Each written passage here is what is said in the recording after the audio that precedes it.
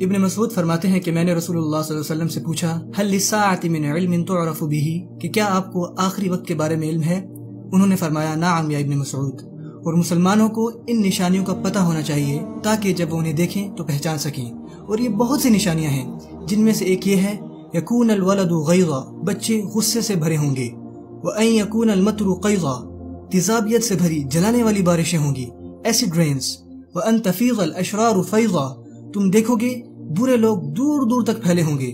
یا ابن مسعود ان من اعلام الساعة واشراتها ان يؤتمن الخائن وان يخون الامین کہ لوگ ناقابل اعتبار لوگوں پر بھروسہ کریں گے اور قابل اعتبار لوگوں کو مکار سمجھیں گے۔ وان يصدق الكاذب وان يكذب الصادق، سچ بولنے والے جھوٹے اور جھوٹ بولنے والے سچے جانے جائیں گے۔ یہ ہیں نشانیاں۔ یا ابن مسعود ان من اعلام الساعة واشراتها ان تواصل الاطباق وان تقطع الارحام یہ میرے لیے نبی کریم صلی اللہ علیہ وسلم کی ایک واضح ترین پیشن گویوں میں سے ایک ہے۔ انہوں نے فرمایا، تواصل الاطباق یعنی آمد و رفت ڈشز مسلسل رابطہ رکھیں گی۔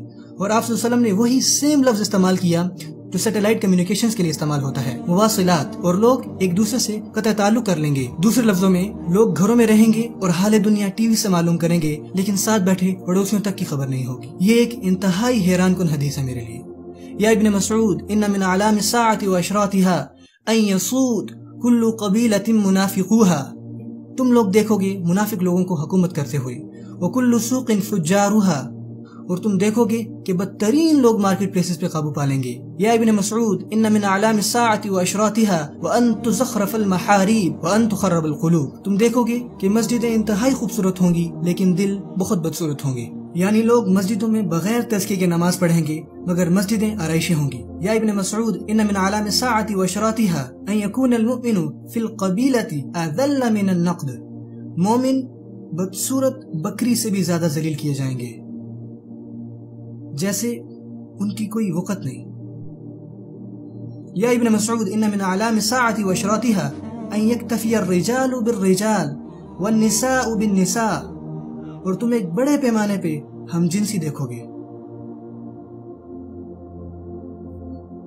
انہوں نے فرمایا، تم لوگ دیکھو گے ملک سبیان جوان لوگوں کے پاس بے انتہا دولت ہوگی، جیسے زگبرگ تیس سال کی عمر سے پہلے ارب پتی بن گیا تھا۔ اور تم دیکھو گے معامرت النساء، ایسی تحریکیں جو عورتوں کو بد تہذیب کریں گی۔ یا ابن مسعود، ان من علام الساعة وشراتها ان يعمر خراب الدنيا ويخرب عمرانها. تم دنیاوی تہذیب کو تباہ ہوتے دیکھو گے، اس کی دھجیاں اڑتے دیکھو گے۔ یعنی تباہی بھی دنیا کی ایک تہذیب بن جائے گی۔ سو خراب الدنیا دیٹ ول بیکم تعمیر اٹس تدمیر۔ یا ابن مسعود ان من علام ساعت و اشراتها ان تظہر المعازف کہ موسیقی کے آلات کثرت سے پائے جائیں گے۔ یعزف على رؤوسهم بالمعازف۔ میوزیکل انسٹرومنٹس ان کے سروں پر ہوں گے۔ ان کو کیسے پتا تھا اس بارے میں؟ یہ یہاں ہے، میں یہ خود سے نہیں کہہ رہا۔ انہوں نے فرمایا علا رؤوسہم بالمعازف۔ ان کے سروں پر موسیقی کے آلات ہوں گے۔ کس نے سوچا ہوگا؟ رسول اللہ صلی اللہ علیہ وسلم کے زمانے میں کسے معلوم ہوگا؟ پر آج ہم ہر جگہ ایسے لوگ دیکھتے ہیں۔ انہوں نے فرمایا، تم بہت تعداد میں اشورت یعنی پولیس ہوگے۔ اور الغمازون، الحمازون، لوگوں کا نقل اتارنا اور ایک دوسرے کا مذاق اڑانا۔ اندازہ لگائیں کتنے ٹی وی شوز پر آج ایسا ہی ہو رہا ہے۔ یا ابن مسعود، ان من اعلام الساعة وشراتها ان یکثر اولاد الزنا. تم بغیر نکاح کے اولادیں ہوتے دیکھو گے اور میرے ملک میں یہ تعداد پچاس فیصد سے بھی تجاوز کر چکی ہے۔ امیزنگ تعرض الفتن على القلوب كالحصير۔ نبی صلی اللہ علیہ وسلم نے فرمایا کہ فتن ایک میٹ کی طرح دلوں کو دکھایا جائے گا۔ عودن عودن اس کی دو لائنیں ہوں گی ہوریزونٹل اور ورٹیکل یہ ہے T V set it's a set ایک میٹ کی طرح۔ آپ صلی اللہ علیہ وسلم فرمایا کہ فتن دلوں, دلوں کو ایک میٹ کی طرح دکھایا جائے گا۔ کل حصیر۔ اور اس طرح شیطان دلوں کو نفسوں کو تباہ کر رہا ہے۔ ان سب کو ٹی وی اور فلموں میں دکھا دکھا کر تب تک جب تک انسان تشدد کا عادی نہیں ہو جاتا۔ اور اب ان کے لیے ایک نارمل بات ہے، کوئی حیرانی نہیں۔ رسول اللہ صلی اللہ علیہ وسلم نے فرمایا، میں نے جہنم میں پائے جانے والے دو طرح کے لوگ ابھی تک نہیں دیکھے۔ قوم معهم سیات کا اذناب البقر، کہ تم لوگوں کے ہاتھوں میں گائے کی دم کی جیسی چابک دیکھو گے، یضربون بها الناس، وہ اس سے لوگوں کو ماریں گے۔ ونساء کاسیات و عاریات، عورتیں جو کپڑے پہنے ہوئے بھی برہنہ ہوں گی۔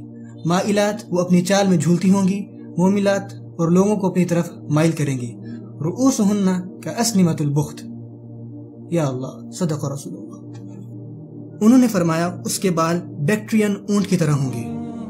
اس طرح کے اونٹ عربیوں کے پاس نہیں تھے۔ جب وہ فارس سے آئے، تب انہوں نے اس طرح کے اونٹ دیکھے۔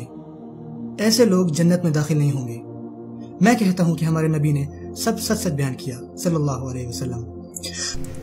انہوں نے فرمایا، میری امت کے لوگ نشہ آور چیزیں استعمال کریں گے اور اسے دوسرے نام سے بلائیں گے۔ رائٹ ان کے پاس بہت سے نام ہوں گے۔ اعوذ باللہ من الشیطان الرجیم۔ اللہم اللہ۔